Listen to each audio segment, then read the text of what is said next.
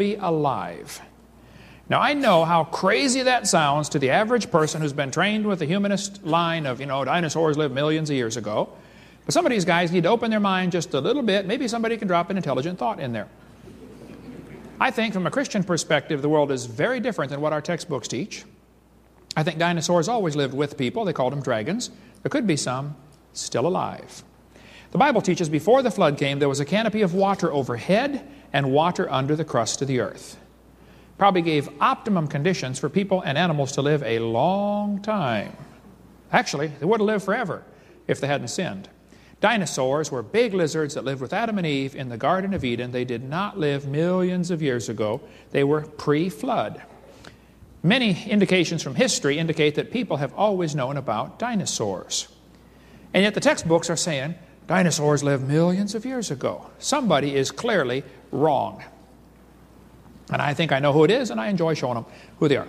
Dr. Seuss even says, millions of years ago, before you were born, millions of years ago. We've just been bombarded with this propaganda for so long, some people actually believe it. Millions of years ago. The Bible says Behemoth lives under the shady trees in the fens. The Old English word fens means the swamp. Behemoth lives in the swamp. Well, the largest swamp in the world is in Central Africa, right on the equator, called the Likouala Swamp. 55,000 square miles. It is 80% unexplored. That swamp is bigger than any one of those yellow states. It's the same size as any of the three red states. That's a big swamp. Belgium took over this area back in 1885. They colonized the Congo, and it was called the Belgian Congo for many, many years. Then in 1960, the communists went in there and liberated them. you know the communists liberate countries, don't you? They killed everybody and said, okay, you're free now. Well, today it's called the People's Republic of Congo. But back in the 1700s, even before Belgians went in there, some missionaries went into that swamp and reported there are dinosaurs still alive. In 1910, an article came out in the New York newspaper after folks had gone into the swamp, and they said, folks, there are dinosaurs still alive in that swamp. This article appeared in the Saturday Evening Post, 1948. There could be dinosaurs still alive. A game hunter, big game hunter, went in there. His name was uh, Mr. Gobbler. He returned to Africa to, from, from a trip to Angola and announced to the newspaper that there was an animal of large dimensions, the description of which could only fit a dinosaur. The natives in the region called it Chipekwe. That was their name for it. Could there be dinosaurs living in the last century? In 1980, a couple of scientists went in there to the Congo swamp. They said it's the most miserable swamp in the world. They said the mosquitoes landed on them at the rate of about 1,000 per hour. Just like dust, swarms of mosquitoes swarming around them. Constant battle with mosquitoes, poisonous snakes, poisonous spiders, every kind of critter you can imagine. Plus the pygmies over there are taught, if you ever see a white man, he's probably a spy. The communists go in there and tell them that to keep you know, everybody else out of the Congo. Well, Roy Mackal from the University of Chicago and a couple other guys went into that swamp, tromped around for a while. The natives kept talking about a couple of animals. One that was interested them was the animal called Mahamba. When they showed them a picture of a crocodile, they said, yep, that's Mahamba, right there. And these scientists said, well, how big does Mahamba get? And they pasted it off on the sandbar, 50 feet. said, right. Of course, now if you're a pygmy, four foot four, a 50 foot crocodile looks real big to you. But they claim there are 50-foot crocodiles in the swamp. I don't know. That's what the natives said, and they live there. They also talked about an animal called Mokele mbembe. Mokele mbembe. When Dr. Mackal said, fellas, what is Mokele mbembe? They draw a sketch on the ground of an apatosaurus or a cetiosaurus, one like this right here. Dr. Mackal said, fellas, that's a dinosaur. They've been dead for 70 million years. And the natives said, we're sorry, we didn't know about that. We've never been to America to study evolution. All we know is we see them out in the swamp once in a while when we're fishing. Now, they're not very big, okay? They're about 20 feet nose to tail, is what the natives will tell you. Most of the body's about the size of a hippopotamus, just a long neck and a long tail. They live underwater. They're very rarely seen. They apparently are nocturnal, active at night. And so the chances of seeing one are close to zero. You could even live there for your whole lifetime and never see one. It's not like they're real common, okay?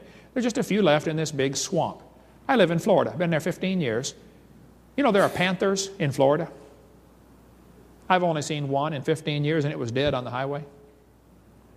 It's possible for a lot of animals to avoid detection. Anybody knows that that studies animals at all. Well, Dr. Mackal went there and the natives said, oh yeah, Mokele Mbembe's favorite food is malombo plant. If you find some of these plants along the side of the river and you find there are no alligators or hippos, probably uh, Mokele Mbembe lives there. Because he's so ferocious, even the hippos and alligators are afraid of him, or crocodiles. He drives them out of the, their part of the river. They found footprints of one of the animals. Dr. Mackal's phone number here, and he's got a California and a Chicago house. There he is. He said, Look, I've been there. That's what the natives say. Missionary uh, Eugene Thomas was there for 42 years. He's retired now back in Ohio. There's his phone number. He said, Yeah, I had met pygmies that knew about these creatures. He said, They live in the swamp. He said he met two pygmies that killed one and ate it back in 1959. There are just so many stories about Mokele Mbembe from that swamp region over there. Different countries around that region have different languages, of course, and they call it by different names, but they all describe this creature right here. Marcellin Agnagna saw one. He's a biologist from the Congo. He said it looked like that. Mark, uh, Dr. Mark Miller went there, came back. He said, Boy, the pygmies over there just nearly killed us. They got us, captured us. They thought, we thought they were going to kill us. Fascinating story from World Explorer magazine, wexclub.com, W-E-X for worldexplorerclub.com. They're right down here in Chicago, is where their headquarters are, near Chicago. Some guys from Los Angeles went to the swamp and said, Look, we saw one, but our cameras malfunctioned because of the high humidity. It ruined everything. It's not like you just drive in, take a picture, and drive home, okay? It's just not the same, right? It's a little tough conditions over there. They said the creature was uh, brownish in color. The skin appeared slick and smooth. It had long neck and a small head. Herman saw it, Kia saw it, that's his wife, and on several occasions they heard it making a tremendous roar. Many other members of the expedition, and this includes government officials from the Congo, saw it and heard it. There's an article from the Boston newspaper about a group getting ready to go over and look for the half god, half beast, Mokele Mbembe creature. This is in uh, 1999. There have been about 30 expeditions into that swamp looking for this critter right here. Many of those that come back say, man, all the natives over there know about it. It's like you know, it's not a big deal. There have been so many expeditions, uh, 30 some that I know of, plus maybe more. The natives claim that they live in, a, in caves along the side of the rivers, and they're more active at night, very difficult to spot these critters, and they stay underwater. So not only at night, but underwater at night, which makes it even tougher to see. Roy Mackal wrote a book about it. We sell the book. We're finally able to get some from the Netherlands. If you want to get his book, it's like 25 bucks, but uh, about a living dinosaur. Now, Roy Mackal believes in evolution. After going over to the swamp, he came back. He went over there twice, spent a quarter million dollars. He came back and said, Folks, there are some dinosaurs still alive. And then he said, It's amazing they survived for 70 million years. oh, well, we're working on Roy about that one. Uh, it's not millions of years ago. Um, William Gibbons from Canada has been over there four times now. He and I wrote this book together Claws, Jaws, and Dinosaurs. William contacted me and said, Hovind, I've been there four times. I said, William, I've been collecting stuff for 30 years on cryptozoology. Let's write a little book together. So we did for kind of junior high, lower high school age, about dinosaurs still alive.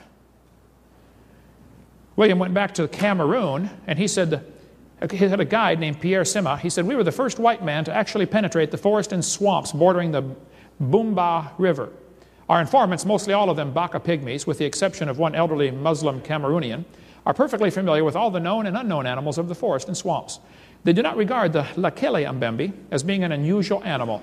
They do fear the creature because of its ferocity in attacking hip hippos, elephants, and even crocodiles. The animal appears to be completely intolerant of any other large creature that shares the river and controls large stretches of the river, particularly those areas where its food supply is present. I was on uh, 100 Huntley Street, a program from Toronto, Canada, one time. I'm sitting there getting ready to go on the air, and there's another guy, a missionary, who's going to go on and talk for a few minutes about his mission work. And he was looking through Roy Mackal's book and he saw that picture. He said, Brother Hovind, my wife and I were missionaries in Kenya, Africa for 15 years. We saw one of those animals. He said, but the plates on the back were bigger. There have been about five reported sightings that I've been able to find in the last hundred years of people seeing what apparently are stegosaurus type creatures, plates on the back. In South America, there's a jungle called the Amazon jungle that is absolutely gigantic. There have been many reports of creatures in the Amazon that are pretty strange. For instance, in 1907, Colonel Fawcett from the British Army was sent down there to mark the border between a couple of countries. He was known as a meticulous recorder of facts, one of those no nonsense kind of guys. He reported a creature that he believed to be a diplodocus. The people down in that valley said, oh yeah, that's, uh, animals out there in the, in the river. Don't bother them, they're not friendly. Colonel Fawcett's son drew a picture of the uh, footprints that they saw. Appears to be a three-toed dinosaur of some kind. In, in 1883, this article came out in Scientific American before they became very careful about filtering out anything that might support creation.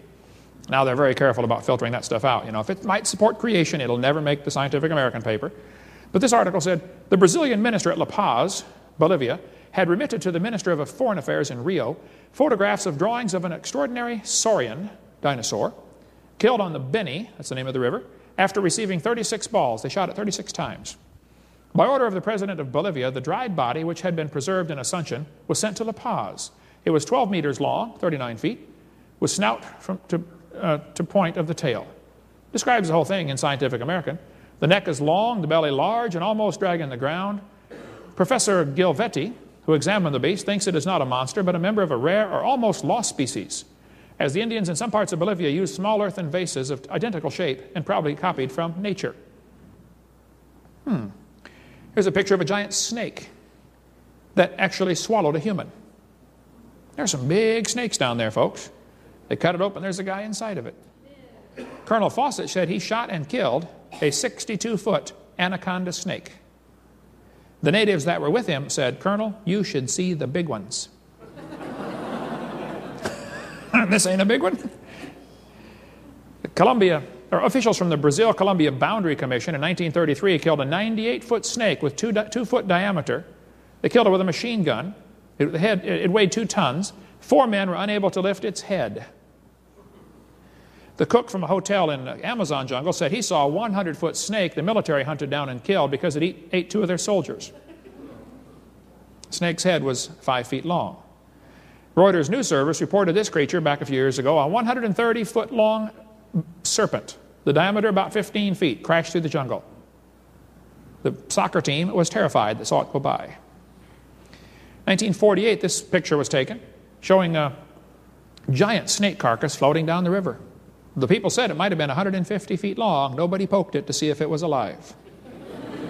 we'll just let that one go on by. See, many Americans cannot comprehend how big the Amazon River is. I had one of my former students who was a missionary down there for a while, right there in central Brazil. He said, Brother Hovind, where we live, the Amazon is only nine miles wide. Can you imagine a river nine miles wide? That's a big river. There have been many creatures seen in that South American region. We can talk more about that later. There's a famous lake called Loch Ness. How many has ever heard of Loch Ness before?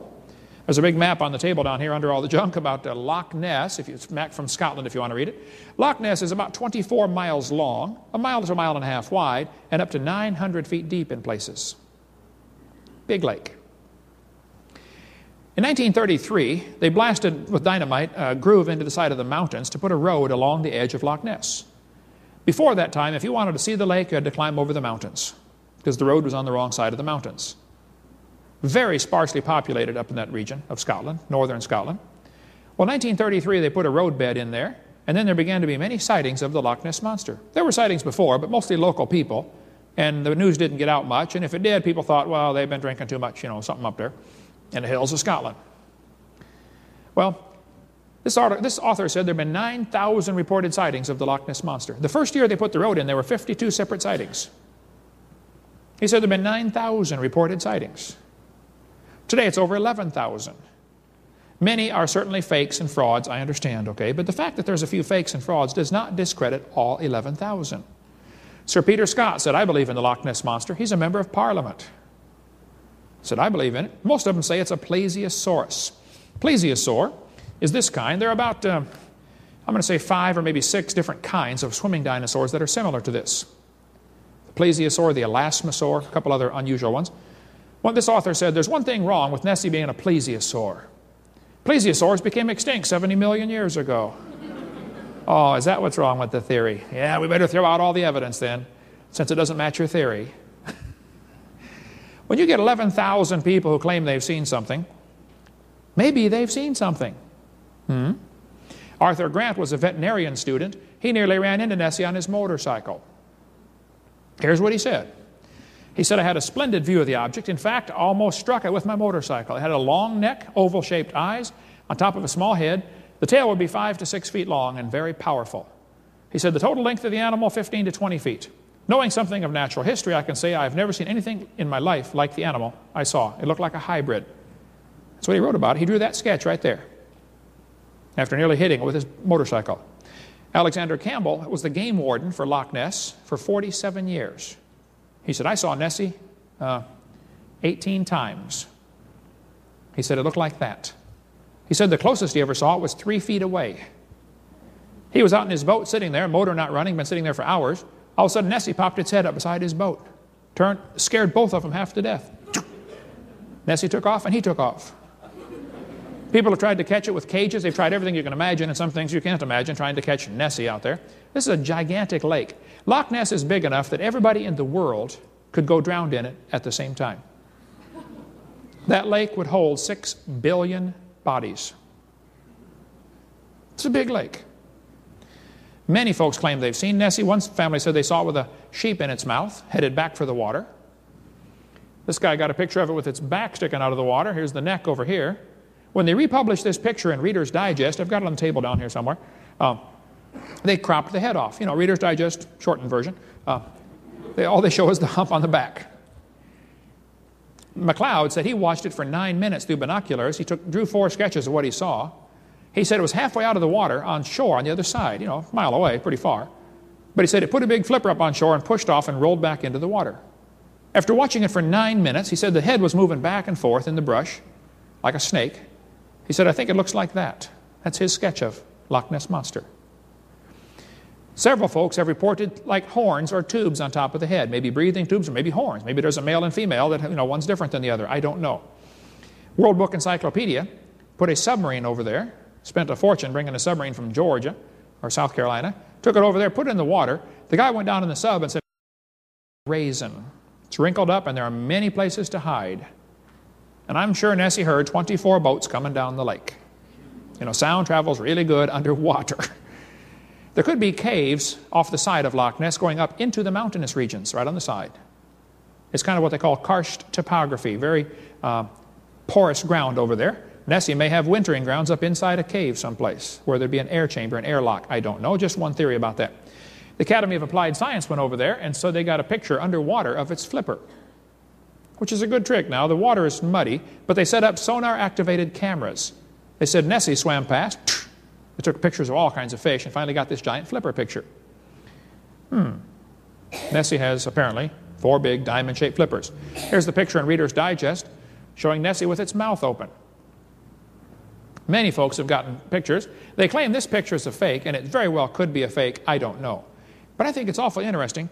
They waited till the last guy who was involved died and then announced it's a fake. They claim that he said it was a fake on his deathbed, but he's dead now, so how are we going to ask him? a little fishy there, but anyway, I'll accept it. Let's assume it's a fake. Maybe. But there are seven other lakes in Scotland reporting creatures like this Loch Lochy, Loch Morag. All you got to do is go to the library. If it's on the uh, Dewey system, go to 001.9, and there'll be books about Loch Ness Monster. On the Library of Congress system, go to QL89, and there'll be books about Loch Ness Monster. I've read every one I can find in many, many libraries. There are lots of books on this topic. I was in uh, Wales a few months ago. Just south of Wales, there's a, a bay called uh, Cornwallis, the Cornish Sea. Many folks reported seeing the Cornish sea serpent down there. In the English Channel, there have been many reports of a creature like Loch Ness Monster in the English Channel.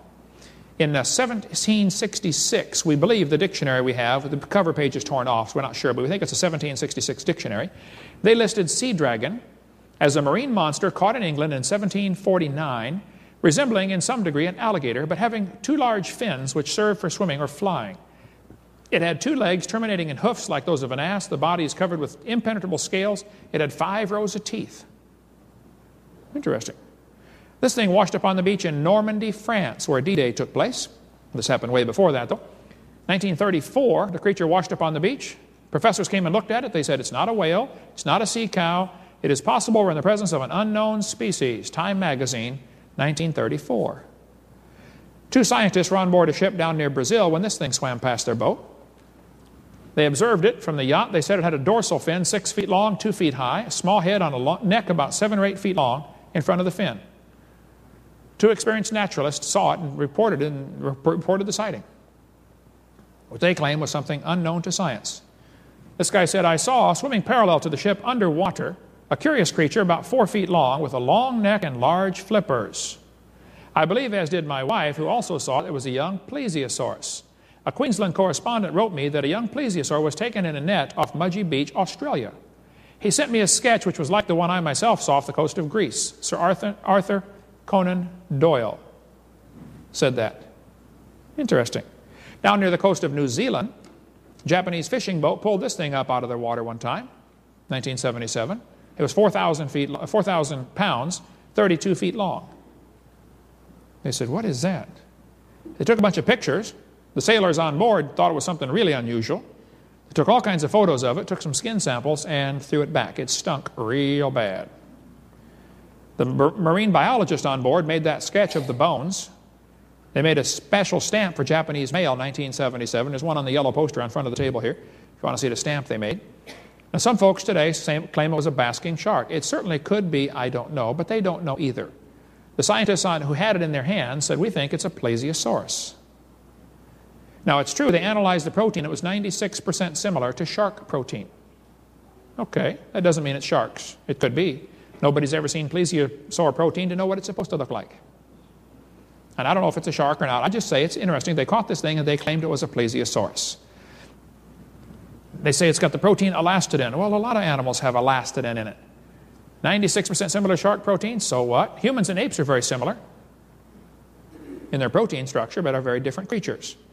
Nobody's ever seen plesiosaur protein. The fishermen had it and said, we know what basking sharks are, and they didn't think it was a basking shark. So the story still rages, and there are some creationist organizations that don't like me because I even mentioned the fact that they might have had a plesiosaur.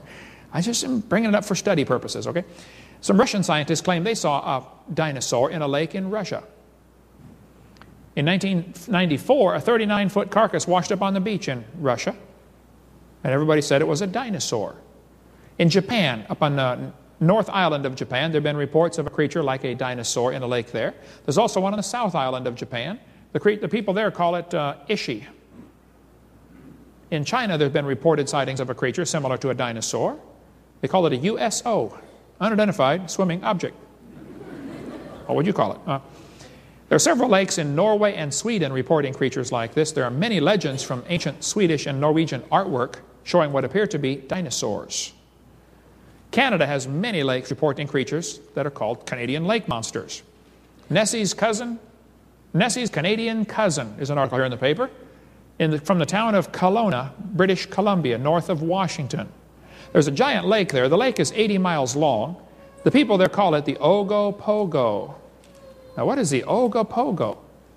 Well, the Indians warned the white settlers when they came out there, said, oh, be careful about the Ogopogo. He will tip your canoe over and kill you. This article says uh, right here, they were the latest among thousands to see something strange in this narrow 80-mile-long lake in southern British Columbia. One swimmer swam, was swimming out there in the lake, and he said this creature came up under him. He said it was 20 to 30 feet long. He said, We've never seen a sturgeon in the lake. Some people thought it might be a big sturgeon. He said, Nobody's ever seen a sturgeon in that lake. Creature showed up on sonar scan here from the Kelowna newspaper, Daily Courier, in, 19, in the year 2000. There's another creature called Cadborosaurus, which apparently is on the Pacific coast along from British Columbia down as far as Oregon. The caddy, they call it. A couple of scientists uh, actually uh, have spent years studying the Cadborosaurus and written books about it. Professor LeBlond from University of British Columbia says it's probably a new species to science. The remains of a baby one are found inside the stomach of a sperm whale. Adult caddies get seven meters long, about 22 feet long. They say it has a long neck and short pointed front flippers and a horse-like head. One guy was actually out there with a sailboat and, uh, and caught one, a little baby one, about 18 inches long. He put it up in his dip net, put it in a bucket, and drew a sketch of it. There's the sketch. He didn't know what it was. He didn't have a camera. But it was obviously trying to get out of the bucket. It was panicking, trying, you know, trying to get out. So he dumped it overboard, let it, let it go. But that's a sketch he drew. I interviewed this guy for an hour up in Canada. He and his three buddies there saw a creature that actually chased their boat off the coast of Cape Sable Island, Nova Scotia. I preached up there about 10 years ago. I met with the guy. Here's what he told me. He said, Dr. Hovind, he was 67 years old at the time. He said he'd been fishing out there since he was five. It's a fishing village. He said a 40 to 50 foot long creature chased their boat for one to two miles with its head out of the water, about 15 feet. That's not a fish. He said it had a wide mouth and four foot tusk like a walrus, as well as other pointed sharp teeth about the size of his finger. I showed him a plesiosaur. He said, Well, that's close, but it's not exactly like that. He said the neck that he saw was two foot diameter, and the eyes were eight to nine inch diameter. Hmm. He said they were six miles south of Cape Sable Island, Nova Scotia. The water was 180 feet deep and flat cam. They say calm cam, flat cam. I said, What do you mean flat cam? He said, You know, flat cam, no waves. Oh, you mean calm? Okay. He said, I don't want to see it again. That's what he told me. The other three guys refused to even talk to me. They said, Look, we got laughed at enough. We're not even going to talk about it. This thing washed up on the beach in uh, Newfoundland, Canada, about two years ago. Nobody ever identified it. Giant creature of some kind. Another one came up in Parker's Cove, Canada. This thing. I had a guy came to my house and spent two hours talking to me. He said, Hovind, I was vacationing up there. He said, I've got a uh, uh, bed and breakfast right near there. He said, This thing washed up on the beach. I got a whole article of him talking to me, September 18th, 2002. He said, I went over to Parker's Cove, two hours drive, saw this creature laying on the beach. He said, Some of the scientists said it was a basking shark. Other people said, No, it's not a basking shark. You know, typical argument. All they knew was it stunk. Everybody kept cutting pieces off of it to take, have a piece of the sea monster to take home. But there were articles in the paper about this giant creature, whatever it was. I don't think it was ever positively identified, except some folks think it was a sea monster. Some folks think it was a basking shark. I don't know. But it's gone now. There are a couple of samples, though, that uh, people up in Canada still have. I think it'd be worth getting those analyzed uh, scientifically to get the structure of it. It had little hair on it. I don't know of any sharks that have little hairs, unless that is frayed protein, which could be, but appears to be some type of hair or fur, whatever it is. Many people reported this creature as having a hair or fur on it. And there's all the pictures. You can see for yourself what it is. We've got all kinds of books out there on the table or on my website, Dr. Dino, about uh, dinosaurs living with people. I interviewed Jacques Boisvert right here for three hours. We talked and talked and talked because he's been collecting for years sightings of the Lake Memphremagog monster which is between New York, I mean, between uh, Vermont and Quebec, Canada. He has file after file of stories of people who claim they've seen Memphrey. In 1992, just that one year alone, there were eight sightings involving 26 people, just in that one year. There have been reports of some kind of strange creature in the Potomac River. They say it resembles the Loch Ness Monster. This one lady said her husband shot one of the smaller monsters in the neck. It rose out of the water and disappeared took off down underwater again. In 1800s, there were many reported sightings of a sea monster in Boston. Lots of people saw this thing, like a giant sea snake. There's an island off the coast of Rhode Island. The island is called Block Island. In 1994, I've got lots of material on this one. Um, 1996, a creature was caught there, 14 feet long. Here's the sketch, here's, here's the actual picture of it right here. Somebody stole the bones and it disappeared. Nobody knows where it is now.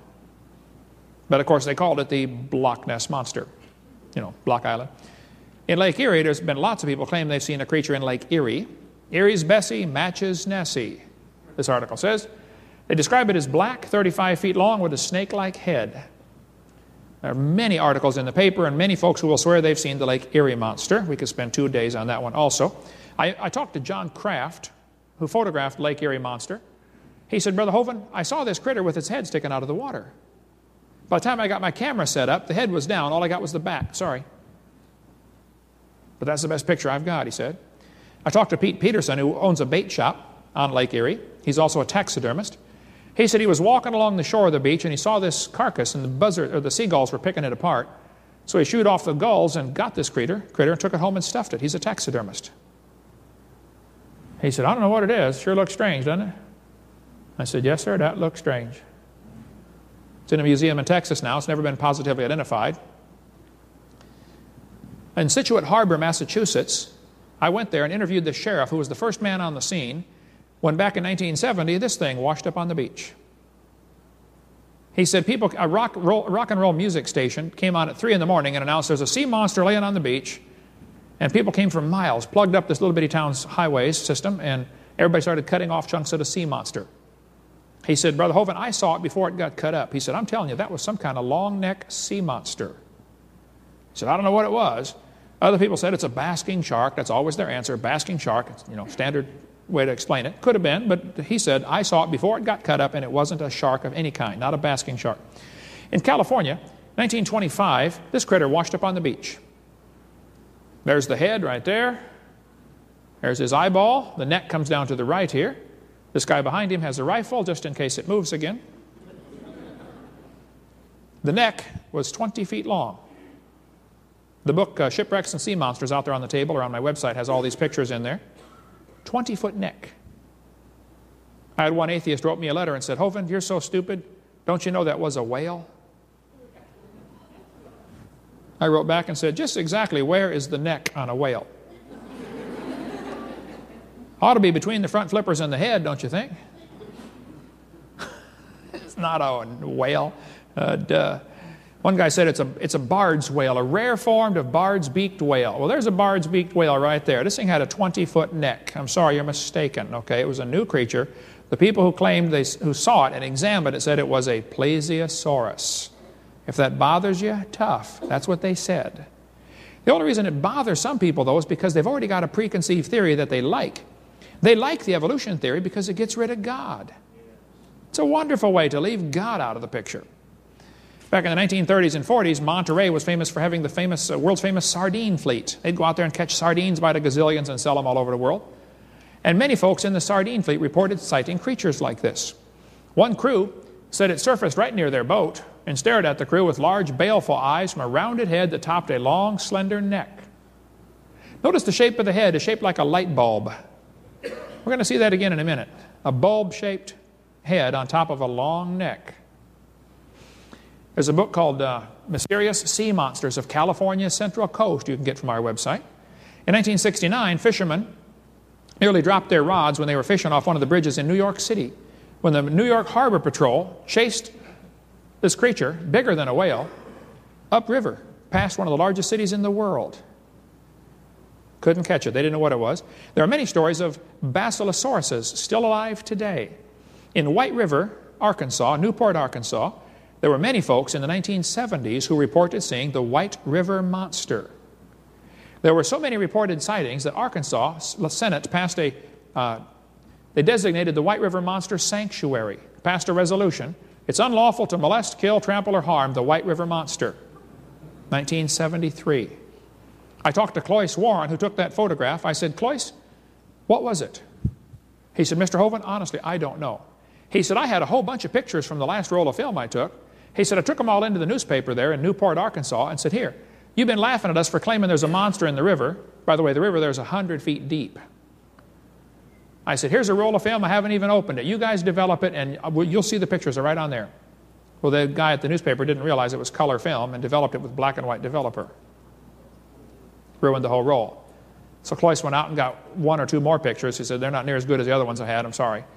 In 1972, I believe, there was a flood that filled in much of the river. These pictures were taken in 71. Arkansas Senate passed a resolution in 73, a couple years later, to protect the White River monster. Off the coast of Jupiter, Florida, there have been many reported sightings of creatures there. One guy wrote me this letter. He said, Dr. Hovind, during the 50s, I was flying off Jupiter, Florida, where I lived. I was seven or eight miles out over the Gulf. The water was glass calm. Suddenly, I saw an animal. Its head came out of the water. Its eyes stayed trained on me as I made another pass. It appeared to be 30 plus feet long.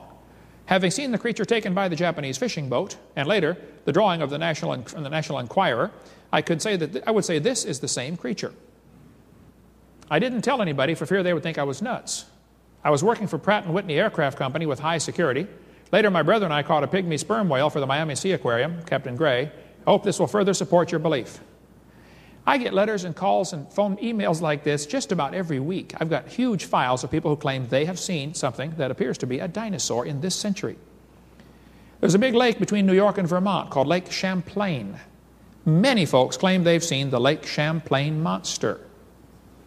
I talked to Sandy Mansi that took this picture. I said, Sandy, do you think you saw a dinosaur? She said, Oh, no. I know I saw a dinosaur. She and her husband and two kids watched it for 10 minutes. We'll put at the end of this tape her interview that I did with her describing the creature she saw, a plesiosaurus.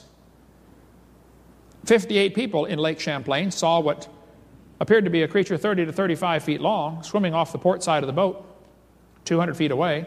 They saw it for five minutes. The skipper said, Don't tell me it's a fish. If it was, it weighed three or 5,000 pounds.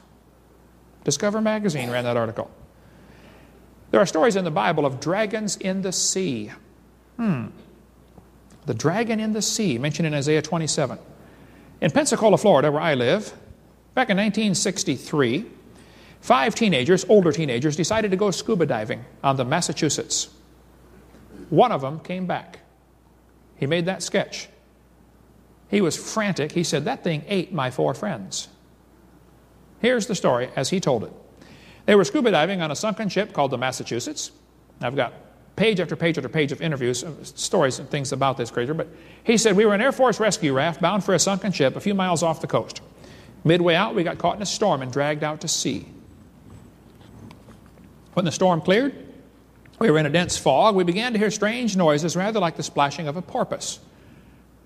Also, a sickening odor like dead fish. The noise got closer to the raft, and we heard a loud hissing sound. Out in the fog, we saw what looked like a long pole about 10 feet high sticking straight up out of the water. On top was a bulb like structure. He said it bent in the middle and went under. It appeared several more times, getting closer to the raft. The silence was broken once again by something out of the fog. I can only describe it as a high pitched whine. We panicked. All five of us put on our fins and went into the water. Keep together and try for the ship, I yelled. After we got in the water, we became split up in the fog. From behind, I could hear the screams of my comrades one by one. I got a closer look at the thing just before my last friend went under. The neck was about 12 feet long, brownish green and smooth looking. The head was like a sea turtle, except more elongated. He, saw, he said the eyes were green with oval pupils. In a different book, he interviewed several folks after this happened, and then he stopped giving interviews altogether. But in this book, he said, I don't know how long it was before we heard a scream. It lasted maybe half a minute. Then I heard Warren call, Hey, help me, it's got Brad. I've got to get out of here. His voice was cut off abruptly by a short cry. Hey, Brad, Warren, Brad, Warren, hey, where is everybody? I yelled back at the top of my lungs. Lauren, or Larry, now swam with Eric and me. Warren and Brad were nowhere in sight. Right next to Eric, that telephone pole like figure broke water. I could see the long neck and two small eyes. The mouth opened and it bent over. It dove on top of Eric, dragging him under. I screamed and began to swim past the ship. My insides were shaking uncontrollably.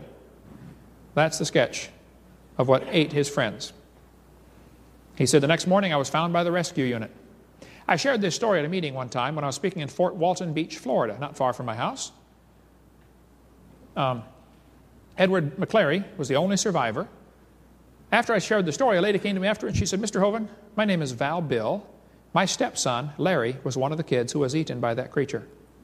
She said, This story you are telling is exactly correct. That's what she said. There's her phone address if you want to write her, if you don't believe me. Down the river, from down the bay from us, or down the, down the beach from us, is Panama City, Florida, about 100 miles away. I was speaking down there, and a youth director came to me afterwards. He said, Brother Hovind, I'm a youth director at a Lutheran church. He said, My youth group was in the van driving across the bridge in Panama City, and we saw a creature just like that one you've got in your book down there. He said the kids all saw it. Everybody saw it in the van, but they all said, man, if we tell anybody, they're going to think we're crazy. There have been many reports like this. Who knows how many have not been reported? I interviewed a lady who was, grew up in Panama, Panama uh, South Central America. She said she was riding her horse along uh, the ocean, on the Pacific Ocean, and she saw a plesiosaur. She's married to a pastor who's a Baptist pastor in Arkansas now. I interviewed her, uh, been several winters ago. I have interviewed probably 80 people face to face who said, Look, I've seen one. There have been 20,000 reported sightings in the last century. There have been reports of pterodactyls still alive. Then in Africa, they call it the Kongamato. In Kenya, they call it uh, Batamzinga. That's their name for it. I was sitting in my office one time and the phone rang, and this guy said, Mr. Hovind, my name is, they call him Steve. He said, My first Af- my African name is real long, so they call him Steve. He said, I'm on the Kenya Olympic running team. I'm over here in Baton Rouge, Louisiana, and I'm going to school at Louisiana State. He's graduated now and gone. I don't know what happened to him. He said, You mentioned in your seminar that I just saw that pterodactyls might still be alive. Here's one here on the table. There have been many reports of pterodactyls, and I mentioned this in my seminar. Steve said, Mr. Hovind, I'm from Kenya, and I want you to know we have those creatures in my village. He said, They're only about a four foot wingspan. He said, They've got a bump on the back of their head, he said, Why do your schools in America say they lived millions of years ago? I said, Because we're dumb over here. He said they're very rarely seen, and most people in my village don't like them, and some people are superstitious about them because their favorite food appears to be decaying human flesh. So if you bury somebody, you better bury them deep, or Kongamato will come dig them up and eat them. Frank Melland, the African explorer, heard about rumors about an animal called the Kongamato, lived in the Jiundu swamps in the northwest corner of northern Rhodesia, near the Belgian Congo. He asked the natives what it was. They told him it was a bird, but not exactly a bird. More like a lizard with wings like a bat, the wings made of skin. He showed them pictures of pterodactyls, and all of them immediately plumped for the pterodactyl, excitedly muttering, Kongamato. A couple of cowboys apparently shot one back in 1880 something in Arizona, cut off the wingtips and took it back to the uh, saloon and said, Fellas, we just shot a giant bird with no feathers. Here's part of the wingtips. They had skin, not feathers. In Venezuela, a missionary told me that he's been down there for years and the natives kept talking about an animal that they're afraid of, a giant bat. They were scared of this animal. He said it would capsize canoes and carry off Indians. I met with Adam in 98. He told me the Indians were terrified of this bat, and years ago they had sent their bravest men to the head of the, head, head of the river where they killed one of the creatures years ago and buried it near the Mawada River. When Clinton showed the Indians a picture of a pterodactyl, their eyes got big as saucers, and they said, That is the bat. They positively identified this extinct dinosaur as the bat that lived a few miles from their village. Even today, the Indians will not fish or drink from the river for fear of this creature. Missionary Tyson Hughes told Bill Gibbons, who wrote the book with me, that he knew uh, of a creature in Seram, Indonesia, right here. But the locals called the creature the uh, orang batai, which means man with wings. My next door neighbor teaches English as a second language at Pensacola Junior College. She lets me come in and speak to her class about once every other year so that I can share about dinosaurs and also get the gospel into them a little bit. So I was sharing about dinosaurs and I shared this session in there. This is all adults learning English from other countries. This lady raised her hand. She said, Mr. Hovind, I am from Indonesia. I'm a medical doctor, and so is my husband. We came over here to study English. She said, You are right. We have those creatures in Indonesia. Why do your American schools say they lived millions of years ago? Several missionaries claim they've seen these. Of course, some have never seen them, and somebody who's never seen one is going to say they don't exist. Carl Baugh has been down to Papua New Guinea several times. The natives there call the creature the ropen. They say it looks just like the pterodactyl, but it glows in the dark just a little bit, like it has something bioluminescent on its skin. Several missionaries have said they saw this creature and it has a slight glow to it. Charlie Knight told me he saw one in uh, um, Washington, near, near Spokane, Washington. Giant bird was seen off the coast of Alaska about a year ago. How many heard about that one? The 14 foot wingspan. A lot of folks on this airplane saw this thing flying right along, past the airplane. Not past it, but just flying in that region. And nobody knows for sure what it was yet. It hasn't been seen since, as far as I know. I have lots and lots of stuff on this topic. A couple of things in real quick here. The Indians out west used to have a story about the thunderbird. They told all the settlers that came out, they said, Oh, be careful of the thunderbird. It's a giant bird. They said, Why do you call it the thunderbird? They said, Oh, a Sioux Indian party years ago saw one get hit by lightning and fall to the ground. It took them three days to find it. When they found this thing, the buzzards had picked it clean, but it had a 20 foot wingspan and a bony bump on the back of its head. That's where the legend of the thunderbird came from, a pterodactyl. Here's a prayer stick in an Indian museum in Colorado, near Colorado Springs, and it shows the head of a pterodactyl. Henry Ford put an eagle on the taillight of his Thunderbird. It should have been a pterodactyl, Henry. The French explorers came down the Mississippi in 1675, they stopped off where today the town of Alton, Illinois is, right across from St. Louis, and they saw this strange animal painted on the cliffs by the Indians. They said, What is this big animal Are you painted up there?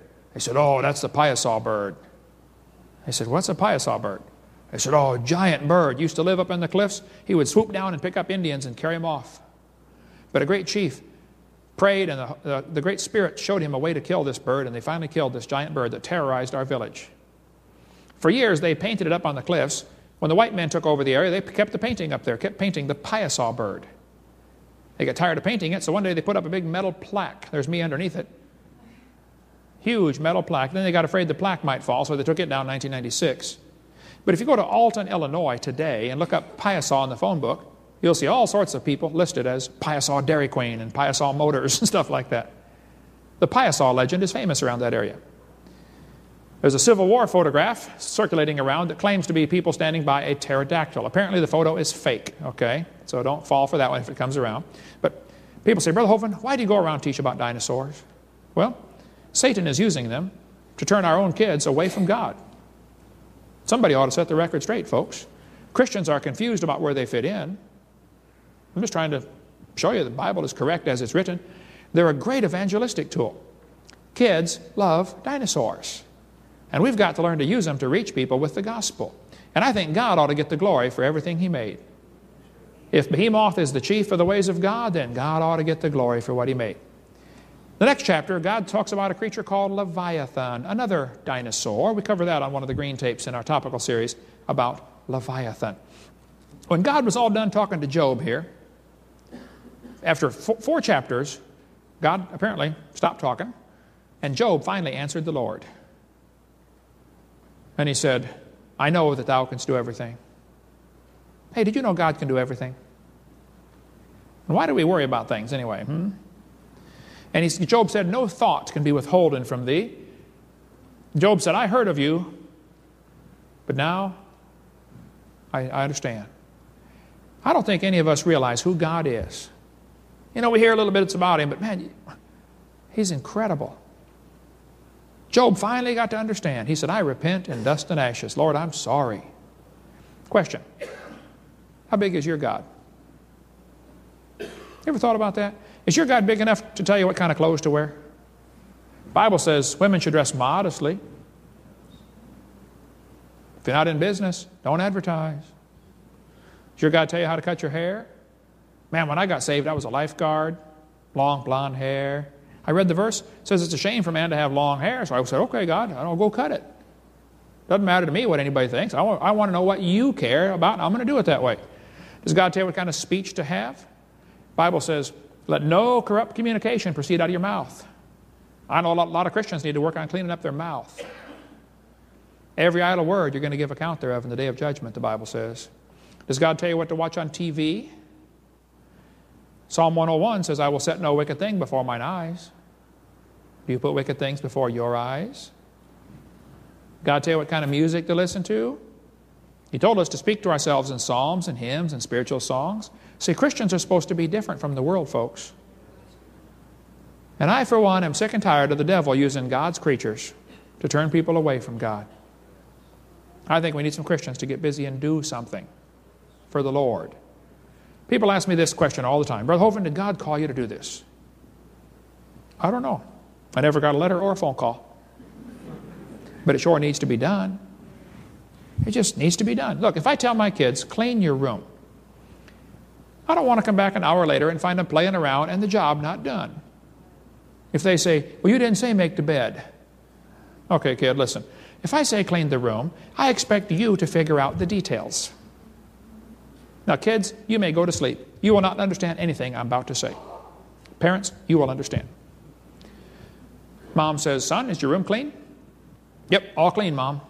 Okay, let's go check it out. Come in here, right here. Okay, son, you see that dirty sock right there? Hmm? Pick it up. Now, bring it over here and put it in the dirty clothes. Okay, now come on back. Come over this way, this way. Okay. Now, pick up the other one. How many know what I'm talking about? Don't you see what needs to be done? I think God's up in heaven looking down at some of his kids saying, Don't you see something that needs to be done? Start a new ministry. Start a new Sunday school class for left handed, one eyed people or something. You know? do something. There's a war going on. For heaven's sake, find something to do. Everybody can do something. The worst of you could serve as bad examples, if nothing else. But you could all do something for the Lord. Man, find something to do. Get the job done. In Acts chapter 2, there are many, many verses quoted as he preached to the Jews because they knew about the Bible. They believed the Bible. So they quoted scripture after scripture after scripture in Acts 2. The second great sermon in the book of Acts is Acts 17, where Paul preached on Mars Hill. He did not quote one scripture. The whole sermon, not one Bible verse. He said, I want to talk to you about the unknown God. And then he said, God that made the world. Paul used creation as his means of evangelism. That's why we call our ministry Creation Science Evangelism. We want to win souls. Hey, there's some practical steps you can use to get the gospel out using creation. You can see how many people you can get to watch videotapes. Feel free to copy mine, spread them around.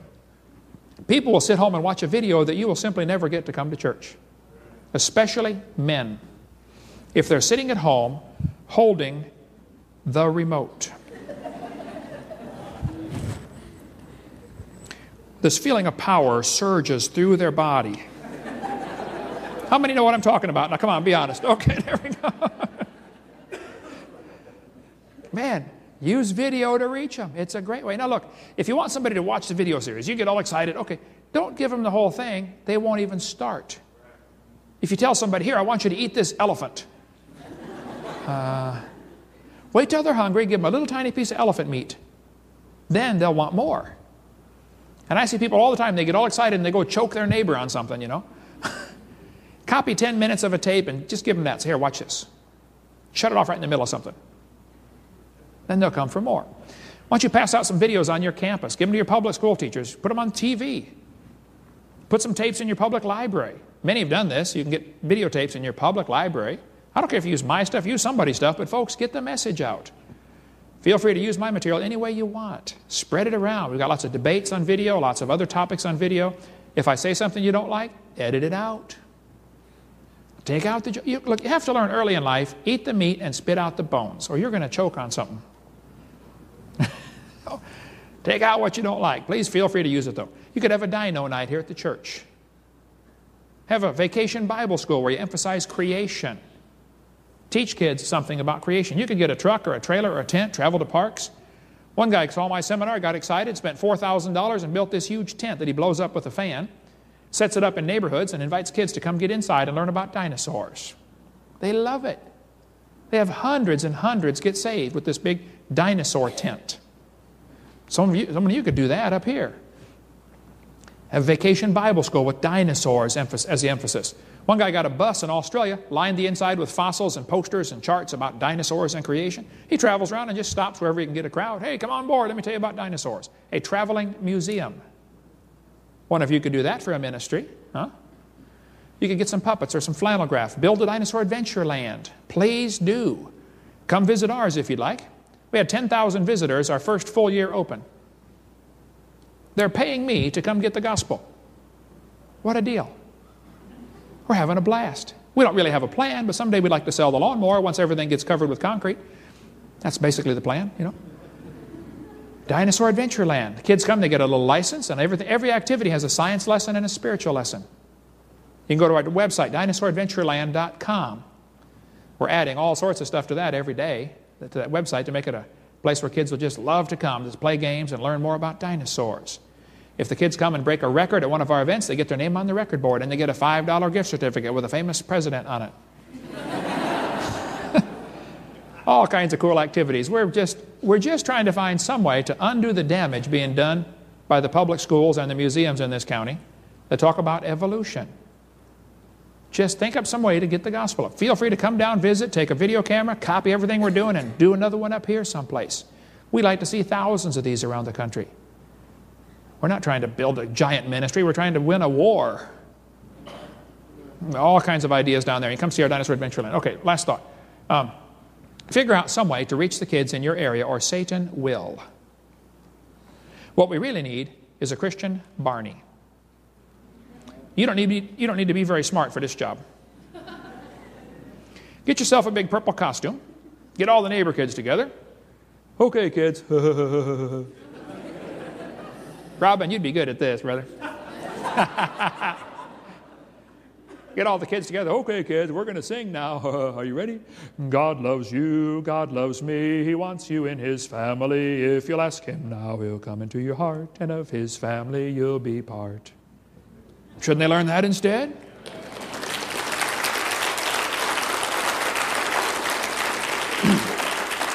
But you know, to keep one F 15 in the air for one hour requires 454 support personnel on the ground.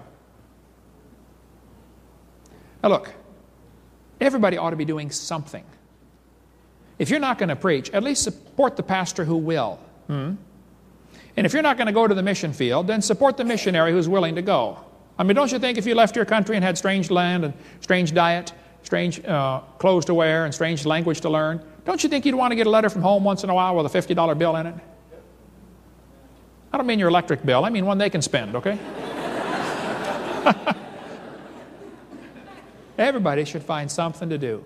We've been commanded by the Lord go into all the world and preach the gospel to every creature. Are you done doing that yet? Well, then let's keep going. I spoke nearly 800 times last year. People say, Brother Hovind, aren't you going to wear out? Oh, probably. Rather burn out than rust out, though. I know a lot of Christians going to rust out. I learned years ago if you burn the candle at both ends, you get twice the light. and right now, the world needs twice the light, so get off your duff and find something to do for the Lord, okay? Let's all stand, bow our heads, and close our eyes, and let's pray.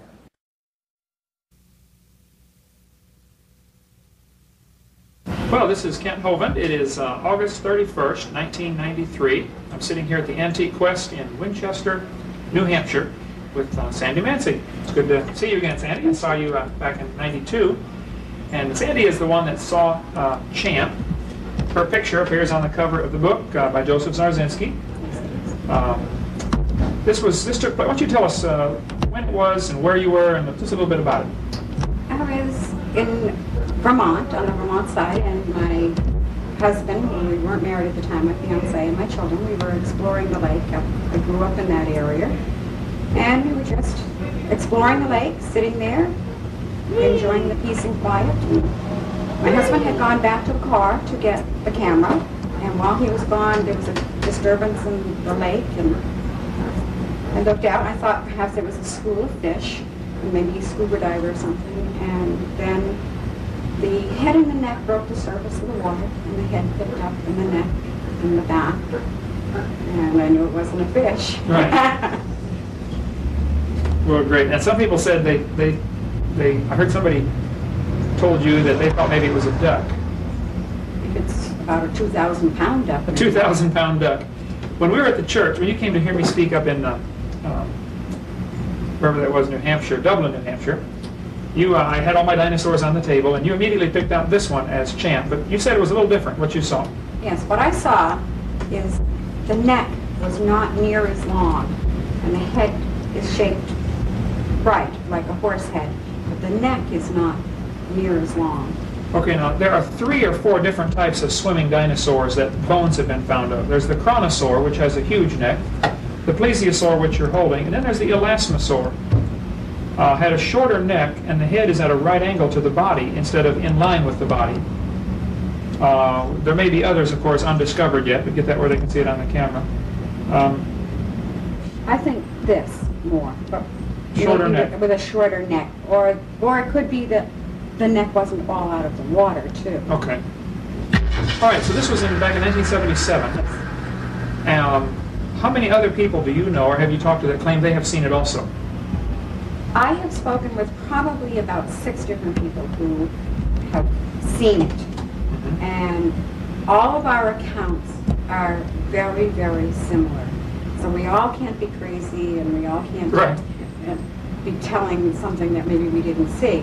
But they're all very, very similar. The shape of the head and neck, um, just the massive size of it. Okay, now you, you watched it for about how long, would you say? Probably from the time the disturbance until it went back down, maybe eight minutes to ten minutes. Eight to ten minutes, okay.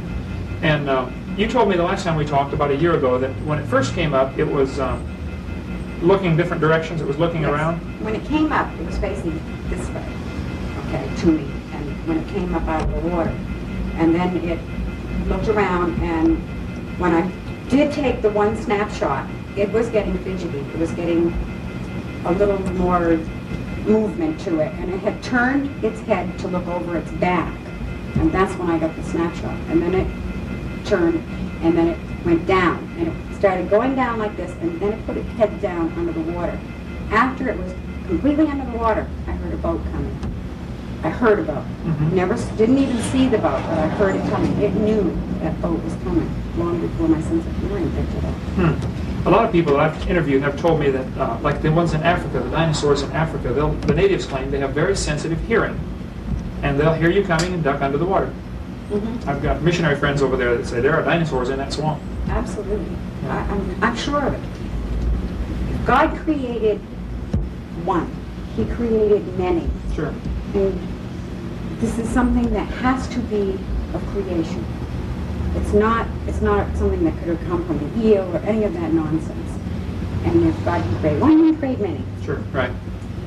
Now, your, your picture has, uh, as well as being on the cover of Joseph's book, has been in a number of places. It was in Time Magazine, uh, was July 81, I think.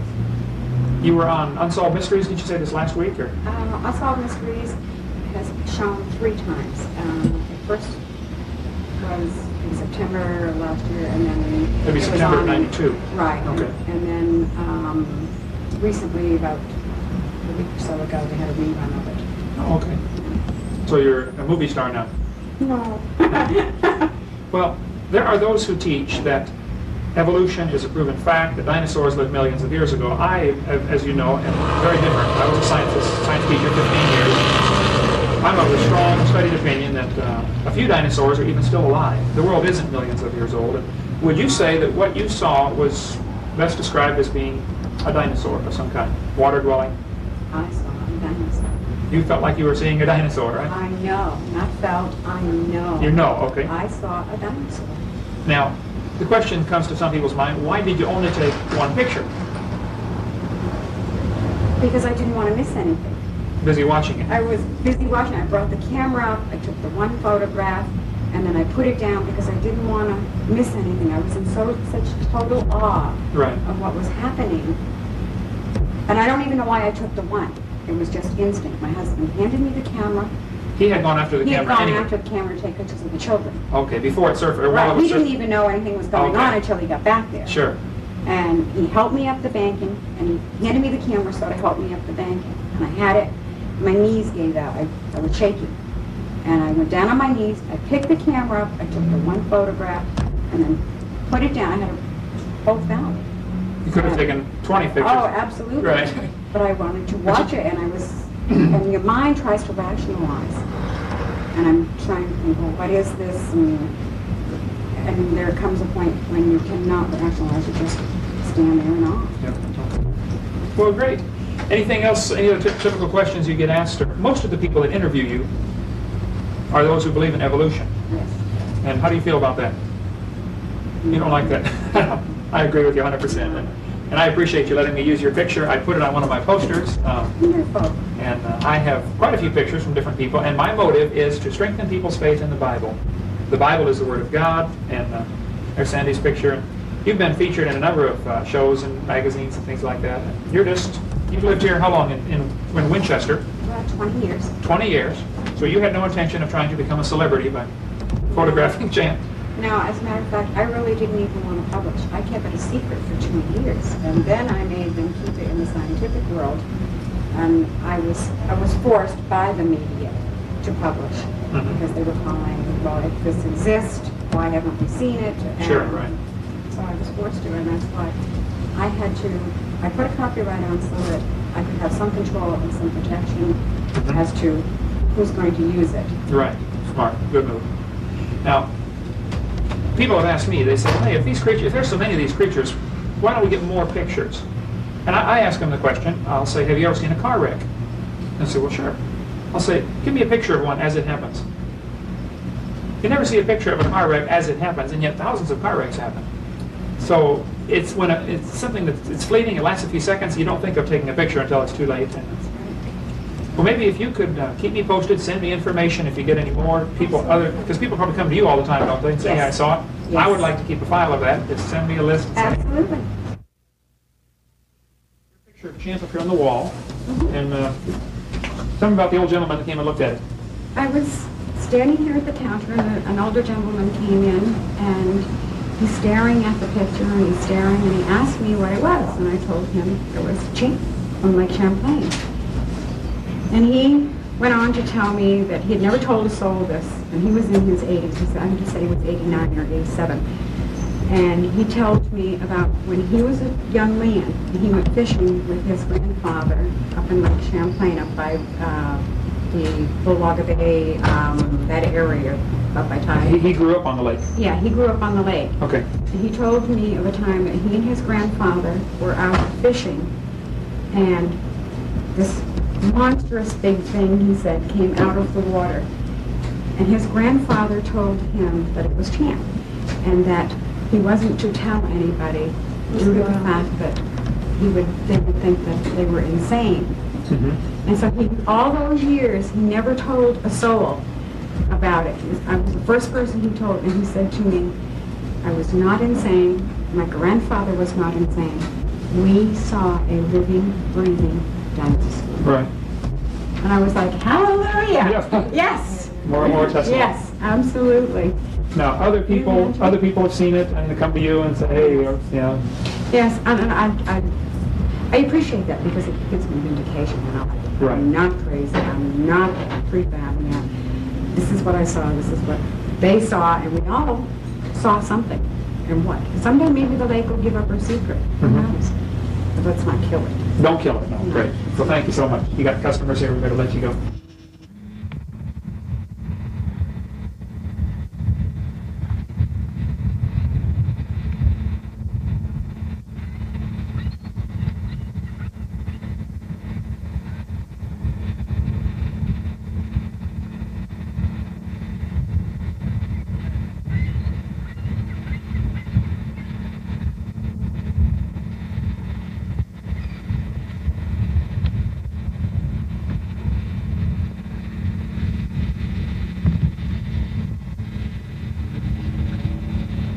It's a shark! God darn, some white things all come out of, out of the water. Ooh, what the heck ever it is. Hey, there's one under. Oh, the trail went under right there, Dad. You see those binoculars? Huh? You see those binoculars? It was a shark. No, it's not a shark. Something just come up there. I seen it, Dad. It's gone. It went under. I think we just see Champ. What's Champ? Lake Champlain monster. It's gone, Clayton. I shouldn't have looked at it with the binoculars so long. I should have got the camera. Oh, it went under and swam away. He started way the heck out there. In that buoy, just past that buoy when that sailboat went by. I know. When I was looking at it with the binoculars, I thought it was just a log. It, uh, it ran over, but went right from that buoy all all the way inland, went underneath right in there.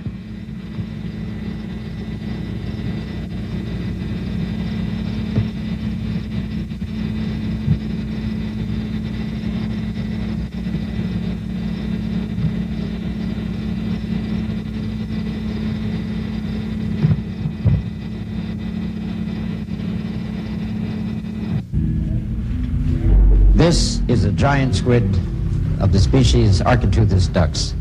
It came ashore on November the 22nd, 1979 in St. Brendan's on Collier's Island in Bonavista Bay, Newfoundland. It's an immature female. It is a small female, but it is a giant squid. I believe the giant squid reach an approximate maximum size of something like 150 feet. If this is 20 feet long, uh, well then um, it's uh, almost uh, eight times longer than this in overall length. And that's a big squid. In 1976, just 30 miles off the Lizard in Cornwall, two fishermen, George Vinnicombe and John Cox, also met a monster. Well, it went steaming 30 miles off, 25 to 30 miles off. Saw what I thought was an upturned boat on the on the horizon. So we went over to investigate. When we got closer, we could see it wasn't an upturned boat. It was something that, well, neither of us had seen before. So it was dark in color and had sort of humps on the back. I should say it was, well, between 15 and 18 feet in length. and rising above the sea about three feet. It was a flat, calm day. There was no disturbance in, on the sea at all.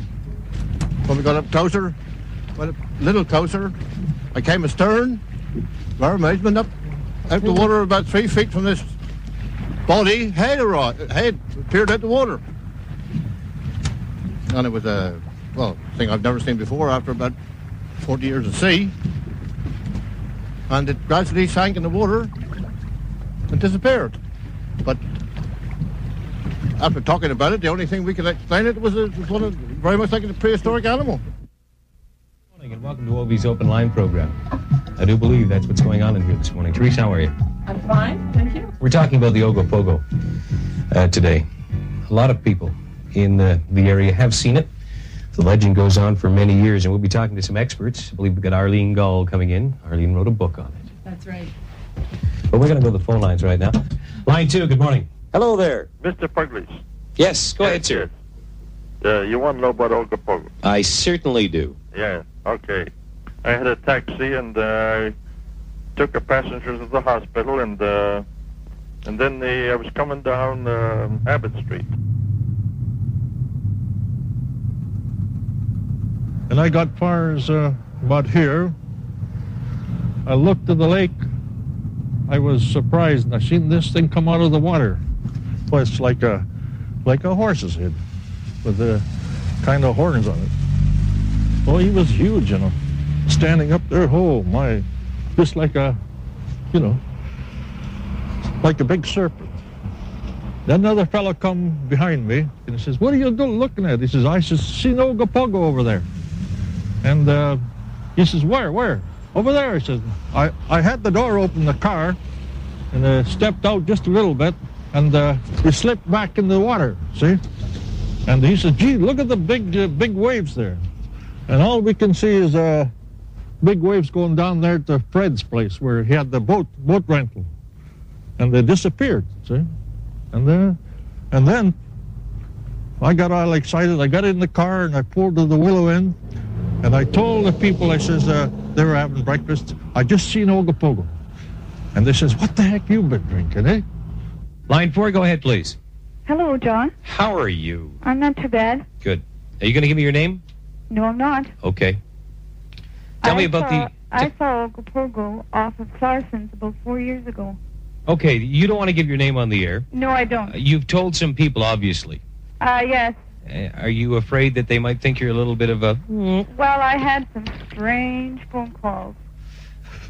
And uh, I get them every day. That's what they pay me for. well, I don't get paid for them, so I don't really want want any more. Thank you. We were up on the beach having a picnic, and my daughter was on the swings when I saw this creature underneath the wharf there.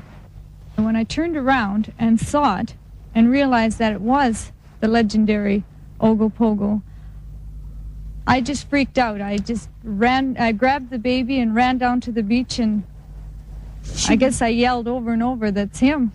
She was screaming like anything. She just couldn't believe it. Her face was red. And, oh. was fishing or whatever it was doing, and it was there for quite some time.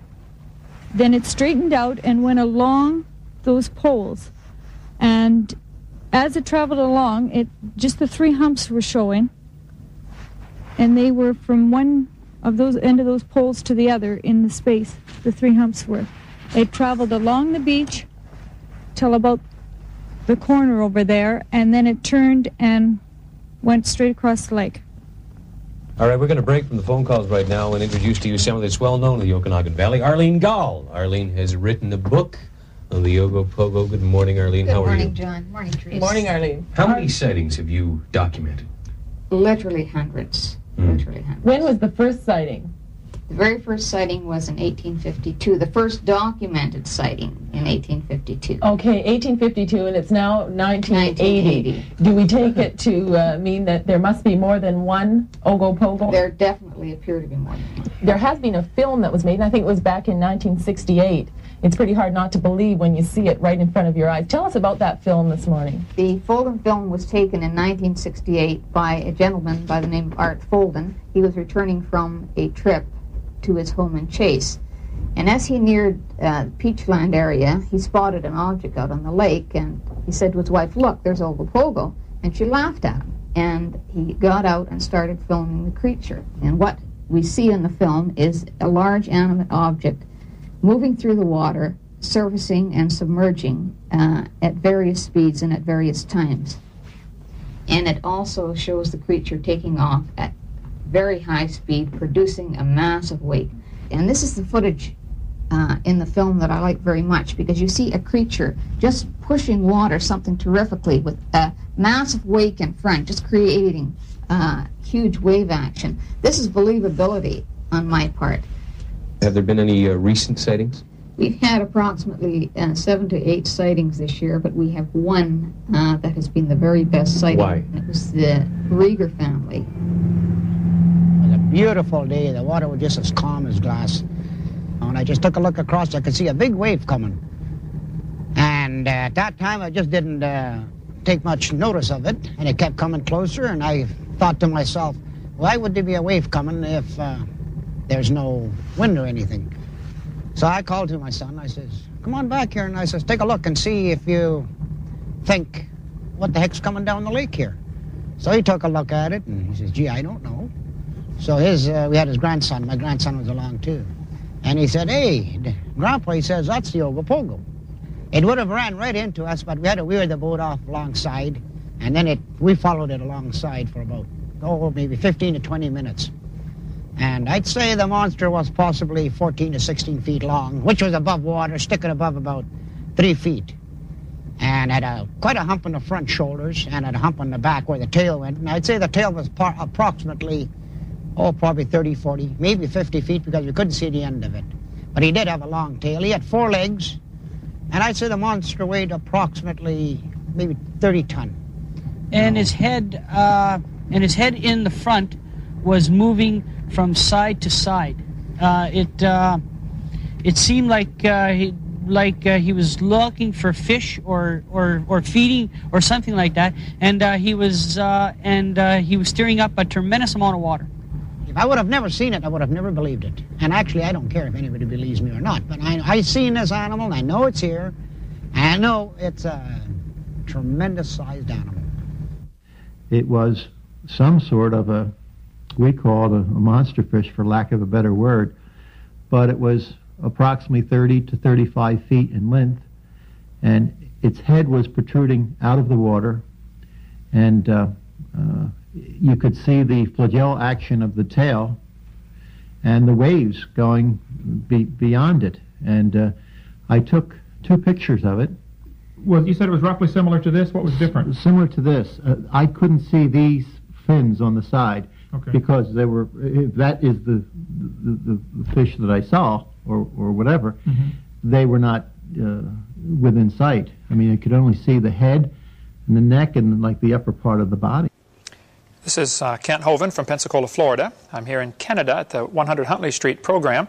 Several years ago, I think 1994, when I was uh, here on the program, I brought my book from Dr. Roy Mackal, uh, A Living Dinosaur, and uh, Cal, who's sitting here beside me, uh, Bombay said, uh, as we, he was, he said, "Well, I was in Africa and I saw something like that, a dinosaur." And I turned to this page, page 256 in uh, Roy Mackal's book, and uh, Cal, you said, "Hey, I saw one of those." Would you take just a few minutes and tell the folks what you saw and you know where you work and if they can get a hold of you for any questions and tell, just describe what you saw. Well, it was, it was, probably one of the most startling experiences I've ever had. It was about uh, uh, in 1963, I think, and I was on my way through the old roads of Kenya back to Nairobi to pick up a car. So I was taking this old Chevrolet that was almost too big for those roads for the potholes, and I was going rather slow.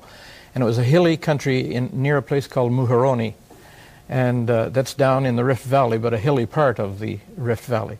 As we came up over the brow of the hill, my wife was with me, and suddenly laying there in front of us, right across the road, seven, eight, nine feet long, uh, was what I thought at first was a, a crocodile. And I thought, no, it can't be a crocodile. This is a dry part of the country. And then as I looked at it, we slowed down and stopped the car actually and, and stood and sat there for 10 minutes looking at this. And as I looked at it, I, I thought, this, this is, I mean, the, the actual word prehistoric went through my mind. I said, this can't be real. I've seen pictures like this, but not quite like this one. Anyway, from the tail right through to the back of its head were, were uh, I don't know what you call them. Serrations, ridges. uh, Ridges, yeah. ridges, like triangulars, perfectly perfect triangles, all the way from the tail to the to the for the head to the tail, and it was just laying squatted down on the road, seeming to sun. And uh, so I, I lo- I looked at the thing for ten minutes. I I could shoot myself for not having my camera with me that day, Right. but I wish I had. But there it was, and I, I had never seen anything like it, and nor before nor since. And I've asked people. In fact, I went to the Natural Museum and said, "Have you ever seen anything or heard of anything in Kenya of this nature?" And they said, "No, there's nothing like that alive today." I said, "I saw something," and I, I argued with them really rather intently for a while, and they said, "Well, it must have been a figment of your imagination." Well, my, my wife and I both saw it, and we we asked for several years. We asked anybody if they'd ever seen anything like that. Nobody had, nor had I have I since. But there it was, laying on the road. After about ten minutes, it stood up, not quite as high as as this drawing, but uh, it just kind of wandered off into a very dry, dry part of the country, bushy a little bit, not much greenery. It was a dry tar- time of the year, and it just took off. And Mary and I just kind of looked at each other in wonder, saying, "What in the world is this thing?" What, what color was it? It was kind of dusty gray. Okay. Uh, Could you see the eyes? Yeah, they, they'd blink. In fact, it turned its head and looked at looked at us. You know, it, it didn't seem to be afraid of us. Could you tell from the pupil of the eyeball, was it slotted or round? like, or couldn't you see that? Not that I- close? I, don't think I was close enough to see that. Was the shape of the snout like a crocodile? Would you more, say? more like a crocodile than a than a hippo, say. Okay, Yeah, sure. It had a, it had a long uh, face. Now, uh, some of the African people I asked, uh, they said, "Oh, that was a monitor lizard." Well, I said, "Impossible. I've seen many monitor lizards. I've never seen one nine feet long. Right. Never as long as that. And I've actually killed a couple of monitor lizards with my car." And uh, they're smooth skinned and no ridges in the back. I know a monitor lizard when I see one. This was not a monitor lizard. This had those uh, ridges down its back. Could you tell if it had smooth skin or scales? It looked it looked kind of bumpy, more like an alligator. Right. Okay. Uh, uh, on the sides. I don't think it had scales. Okay. I, I can't really be sure. Uh, All right, it- well. it's been a lot of years ago. It's 96, I mean, this is I 1997. understand. Well, I've been saying for years there's a few dinosaurs still alive, and your first thought in your mind was something prehistoric, huh? Well, of course, I've been pre I, I have been preconditioned by all the education that I'd had up till that Right, time that these things don't exist. Whatever it is, it can't be a dinosaur. That's the Yeah, first thought most yeah. people have. Well, I, I, I, I considered it had to be some kind of a lizard. Sure. And because, you know, you have litter, lizards from this size of the Yeah. little gecko lizards right up to monitor lizards. All right, now you work here at 100 Huntley Street, Mm-hmm. and they, what's the phone number here? So if they have any questions, they can call and ask for Cal Bombay. My no- phone number is area code 905-335-7100, extension 3206. All right, well, call them up if you don't believe it. Uh, that's, I saw it. I mean, a lot of some peop- still alive. Uh, when I saw this picture, I thought, that's what I saw. I mean, it, All right, let's get him to zoom in on this picture if you can, real quick, and we'll close out with that. If you have any questions, uh, we'd be glad to help. Uh, give us a call if you want more information on dinosaurs. Uh, you let us know, and we'll be glad to send you our videotape on creation, evolution, and dinosaurs. So that's what you saw that day, 1962. that's All as right. close as anything I've ever seen to... Okay.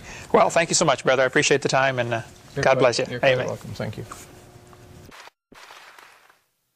Well, thank you for watching this videotape. Uh, for those of you that joined us uh, by video, we want to let you know that you're welcome to give us a call, and we'll try to answer any questions we can. We want to help strengthen your faith. On this tape, we talked about the age of the earth and what the Garden of Eden was like. Uh, it's interesting to learn things about dinosaurs and about creation and evolution, but it's much more important to know that you personally are going to heaven. If you've never trusted Christ as your Savior, or if you're not sure you're going to heaven, let me share with you very quickly and simply what the Bible says about how to go to heaven. You don't have to do what God says, but you at least ought to know what's going on and know what you need to do. When I was a sophomore in high school in East Peoria, Illinois, I had been raised in a variety of different churches, but I had never, I didn't know if I was going to heaven. I didn't know if I had ever trusted Christ. I wasn't saved. And a friend of mine asked me, he said, Kent, do you know if you're going to heaven? I said, no, I sure don't. He said, well, if I could take the Bible and show you what the Bible says, would you be interested in, in knowing? I said, yeah, I'd like to know about that. So he took his Bible and showed me three simple verses, and for the first time in my life, I understood what God wanted. The Bible says in the book of Romans, chapter 3, and verse number 23, For all have sinned and come short of the glory of God. Everybody is a sinner. My friend looked at me and said, Kent, you are a sinner. You've done things that God doesn't like. I said, Boy, you can say that again. And the Bible says everyone is a sinner. Now, some are worse than others in man's eyes, but in God's eyes, one sin makes you a sinner. And you're in trouble if you've committed, if you've broken one of God's laws, you're guilty, you're a sinner. Now, in Romans chapter 6, in verse number 23, it tells us, For the wages of sin is death. Of course, wages is something you earn. And wages of sin, what you have earned because of your sin, is you have earned the death penalty. You deserve to die and go to hell. The problem is, God doesn't want you to go to hell. So, to be fair, God has to send everybody to hell because of one sin, but He decided to provide a way out. Jesus Christ came down and died on the cross to pay for your sins. And now you can accept what He did for you. So, actually, His death pays for your sin. So, my friend showed me the wages of sin is death. He said, Kent you deserve to die and go to hell? I said, Yeah, I know that. He said, But, the verse continues, but the gift of God is eternal life through Jesus Christ our Lord. You do not get eternal life through the church. You don't get it through baptism. You don't get it through being good. You get eternal life through Jesus Christ. See, you received and I received from, we received from our parents a free gift of physical life. Somebody else did the work, went through the pain, paid all the bills, and you and I got free gift, physical life. Getting born really only takes a few minutes. Now, growing takes a long time. And getting born into God's family only takes a few minutes. Growing in God's family takes a long time and requires a lot of effort, like reading your Bible, going to church, praying, doing those things. They help you grow to be a good Christian, but they don't make you a Christian. You only become a Christian if somebody else does the work for you. If Jesus Christ comes and lives in your heart and makes you a new person. February 9, 1969, my friend said, Kent, you're a sinner. I said, Yeah, I know that. He said, According to the Bible, you deserve to die and go to hell. I said, Yes, sir, I know that too. He said, But God wants to give you a gift eternal life. You deserve eternal death. God wants to give you eternal life. I said, Well, how do I get it? He said, Watch this. Romans chapter 10 and verse number 13 tells us, For, the way, for whosoever, whosoever means anybody, for whosoever shall call upon the name of the Lord shall be saved. It doesn't say you might be saved, it says you shall be saved. Anybody that receives Jesus Christ, they call on him, they ask him to forgive them. The Bible says in John chapter 1 that if you receive him, you become a child of God. You become a son of God. In John chapter 3, it says you must be born again. These things all tie together. When you receive Christ as your Savior, some people use the expression you receive him into your heart. When you receive Jesus Christ, when you accept what He has done for you, you become a child of God. You receive the new birth. It just takes a few minutes to say, Jesus, I'm a sinner. Would you please forgive me and save me? And so, February 9th, 1969, I bowed my head and I said, Lord, I'm a sinner. I know you died for me on the cross. And I'd like you to forgive me. I'd like you to come live in my heart and save me and forgive me. Make a new person out of me, would you please, Lord? I just received Christ as my Savior. And so that day became my spiritual birthday into God's family. I'm now a child of God, have been for quite a while. And if I do something wrong, I cannot go to hell because I've received the gift of eternal life, and eternal life lasts forever. But as God's child, I can receive his punishment. See, I'm in God's family now, and it's treated very different, a family matter, if I do some sin. Whereas before, I would have been God would have been my judge. It was a legal matter uh, if I had sinned. But now my sins are paid for. So when I tell people I'm going to heaven, it's not because I'm so good, it's because my sins are forgiven. You can have the same thing. If you'll accept Jesus Christ as your Savior right now, He'll forgive your sin and save you and take you to heaven. In this session, we talk about creation and evolution and dinosaurs and carbon dating and all those things that are interesting. But it's not going to matter if you go to hell. Please check your heart. If you've not trusted Christ as your Savior, why don't you ask Him to save you right now? Just bow your head and pray a simple prayer like I prayed in 1969. You can, uh, there's no magic words. God knows what's in your heart. But if you'd like to receive Christ, why don't you pray something like this along with me? Just pray and say, Dear Lord Jesus, I know that I'm a sinner. I believe you died for me on the cross. And I'd like to ask you to forgive me. I now receive you as my Savior. In Jesus' name, amen. Well, folks, uh, Romans 10.13 says, Whosoever shall call upon the name of the Lord shall be saved. If you just receive Christ, you've got God's promise. You're going to heaven. And God's promises last forever. So if you've just done that, why don't you call or write or email me and let me know. My name and address will come up on the screen, and you can get a hold of me and let me know. You just received Christ as your Savior, and we can rejoice with you. Once you receive Christ, now that makes you born into God's family. That's just the beginning. Growing requires a lot of work. You're going to need to read your Bible, go to a good Bible believing church, start telling others about Jesus, and there's all sorts of things. And I'll be glad to be a help if I can be. Thank you so much. We hope you enjoy this video series. What you're about to hear is an audio tape made of apparently the roaring of the creature in the Congo swamp the natives call Mokele Mbembe, uh, which would be one of the few living dinosaurs. The sound appears to have a flapping or slapping sound near the end of each roar. Some have speculated that this may be similar to the gecko lizard that uh, makes a little roaring sound and then the flap of skin under its throat slaps back against the throat, making the slapping sound. That's the best uh, so far we have on this. If you hear any more, please let me know. Hope you enjoy it.